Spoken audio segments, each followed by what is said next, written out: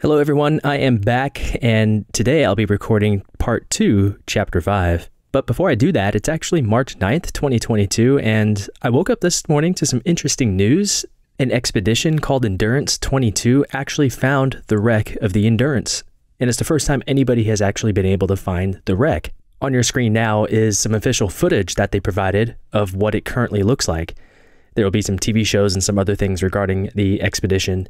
I'll link to the press release down below in this video's description where you can read more about it. So without further ado, here is Chapter 5.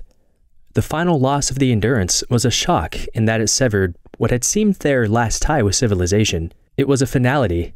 The ship has been a symbol, a tangible, physical symbol, that linked them with the outside world. She had brought them nearly halfway around the globe, or, as Worsley put it, carried us so far and so well, and then put forth the bravest fight, that ever a ship had fought before, yielding to the remorseless pack. Now she was gone. But the reaction was largely a sentimental one, as after the passing of an old friend who had been on the verge of death for a long time, they had been expecting her to go for weeks. When she had been abandoned 25 days before, it had seemed that she would sink at any moment. Indeed, it was remarkable that she had stayed on the surface so long. The next morning, Worsley obtained an, an encouraging sight indicating that, in spite of four days of northerly winds, she had not been blown back. The pack appeared to be under the influence of a favor- favorable current from the south.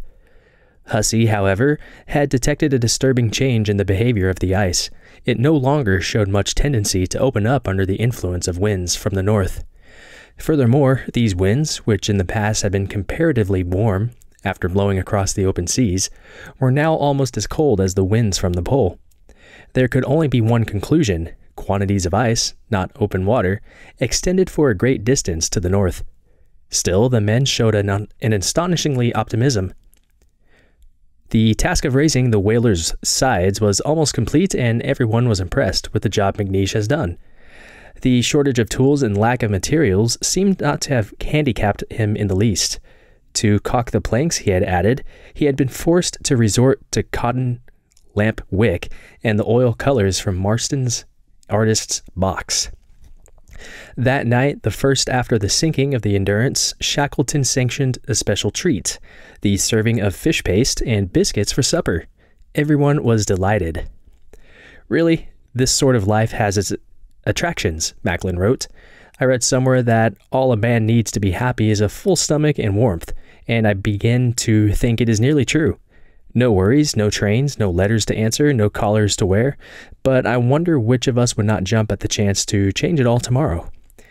Macklin's good humor continued into the next day when he and Greenstreet were out seal hunting.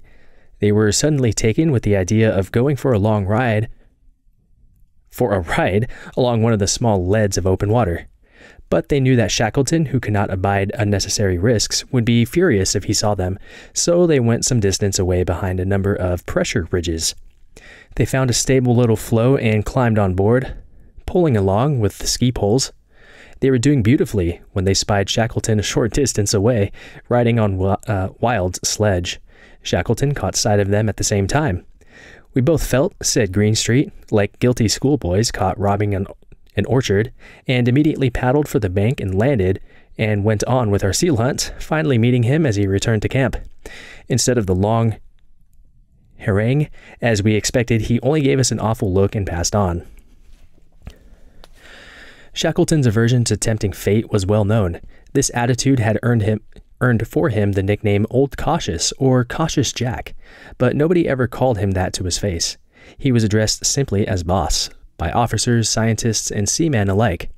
It was really more title than a nickname. It had a pleasant ring of familiarity about it, but at the same time, boss had the connotation of absolute authority. It was therefore particularly apt and exactly fitted Shackleton's outlook and behavior. He wanted to appear familiar with the men, he even worked at it, insisting, insisting on having exactly the same treatments, food, and clothing. He went out of his way to demonstrate his willingness to do the menial chores, such as taking his turn as Peggy to get the mealtime pot of hoosh from the gallery to his tent.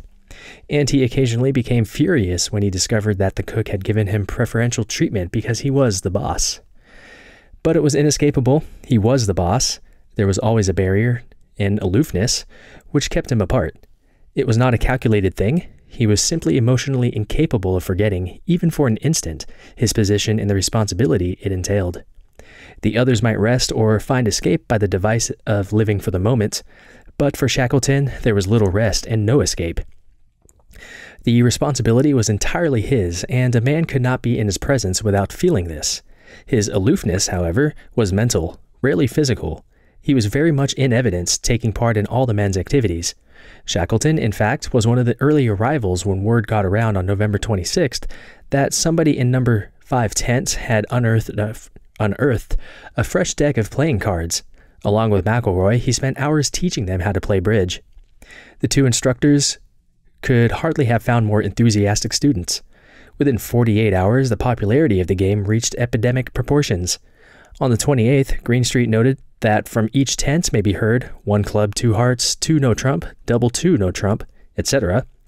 Those who didn't join in found themselves almost ostracized. On one occasion, Rickinson and Macklin were driven out of their tent by the crowd that assembled there to play and to kibitz. At the same time, preparations were being completed for the journey to the west. The boats were now as ready as McNeish could make them. Nothing remained except to name them, and Shackleton did so. He decided to honor he decided the honor should go to the expedition's principal backers. Accordingly, the whaler was christened the James Caird, the number one cutter became the Dudley Docker, and the second cutter, the Stancomb Wills. George Marston, the artist, got busy with what remained of his paints and lettered the proper name on each boat. Shackleton also adopt, adopted Worsley's suggestion that they could call the floe on which they were established Ocean Camp. He then issued the individual boat assignments. He himself would be in charge of the James Caird, with Frank Wild as his mate. Worsley would captain the Dudley Docker, with Greenstreet second in command, and Buddha Hudson was put in charge of the Stancomb Wills, with Tom Crean as mate. And so November was drawing to a close.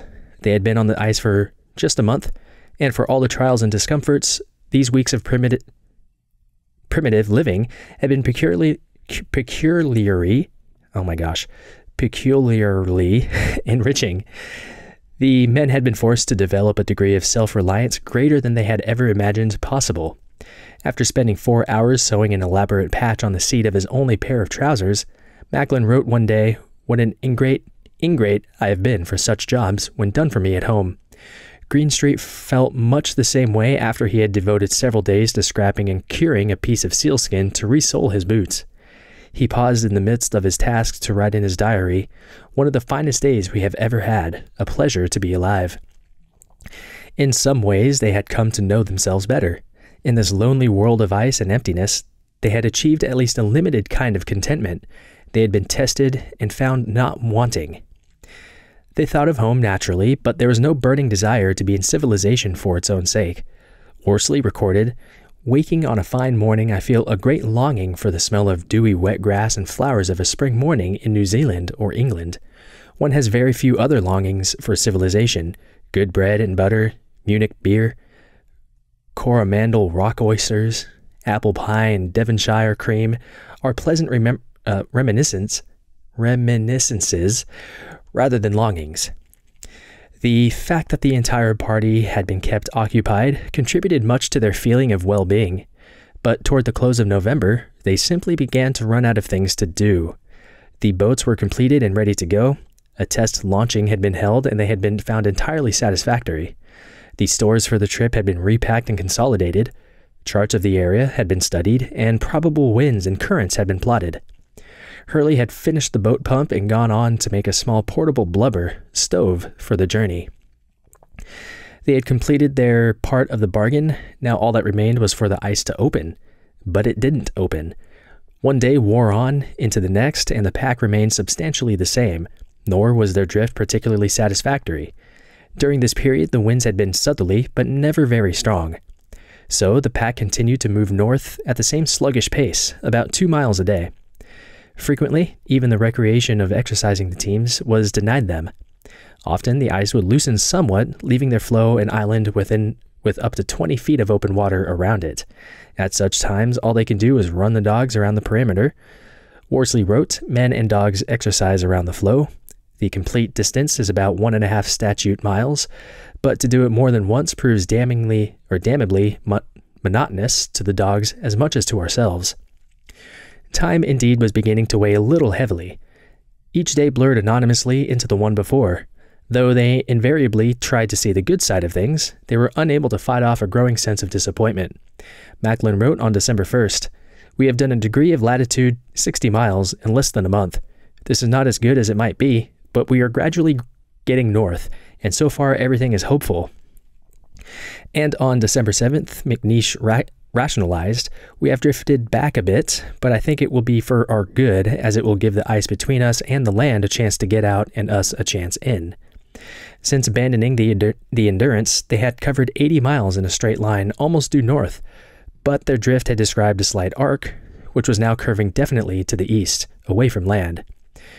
Not enough to cause real worry, but enough to stir concern. Shackleton had suffered a bad attack of sciatica, which had kept him confined to the, his tent and more or less out of touch with things. But toward the middle of the month, his condition improved and he became aware of the growing restiveness among the men. The situation was not improved on December 17th. Just after they had drifted across the 67th parallel of latitude, the wind hauled around to the northeast. The next day's observations showed that they had blown back across it. An air of tension, of patience pushed too far, settled on the camp that night, and conversation went, was scant. Many of the men went to sleep. Whoops, wrong button. Went to sleep right after supper. McNeish lets go of his pent up frustration in his diary, choosing as his target the profanity of his tent mates.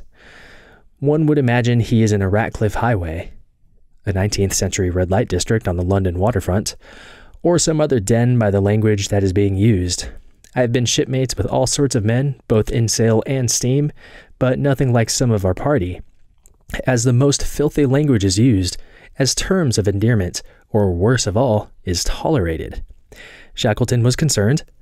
Of all their enemies, the cold, the ice, the sea, he feared none more than demoralization. On December 19th, as he wrote in his diary, am thinking of starting off for the west. The need for action was settled in his mind the next day as he announced his plan that keep tapping the wrong thing on my screen here. And he announced his plan that after there we go. Having some problems turning the page here. That afternoon, he said that on the following morning, he would go with Wild, Hurley, and Crean's teams to survey the country to the west. Their reaction was immediate. Greenstreet wrote, The boss seems keen to try to strike through westward, as we don't make headway as we are. That will mean traveling light and taking only two boats at the most and leaving a lot of provisions behind. As far as I have seen, the going will be awful, everything being in a state of softness far worse than when we left the ship, and in my opinion, it would be a measure to be taken only as a last resort, and I sincerely hope he will give up the idea directly. There have been great arguments about the matter in our tent. Indeed, there were. Worsley felt much the same way. My idea is to stay here unless the drift should become too uh, large to the east. The advantages of waiting a little longer are that the drift will convey us a part of our journey without any exertion on our part, that probably we should be able to keep three boats and that in the meantime, leads may open in the pack. But a great many others defended Shackleton's decision warmly. As Macklin put it, Personally, I think we ought to push west as hard as we can. We know that there's land 200 miles west, therefore the pack edge should be somewhere about 150 to 180 miles off in that direction. At our present rate of drift, it would take us to the end of March to reach the latitude of Paulet Island, and even then we cannot be certain of breaking out. Consequently, my view is make as hard and as far as possible to the west. The drift will take us north, and the resulting direction will be northwest, the direction in which we want to go. Anyway, we will see what they think of things tomorrow.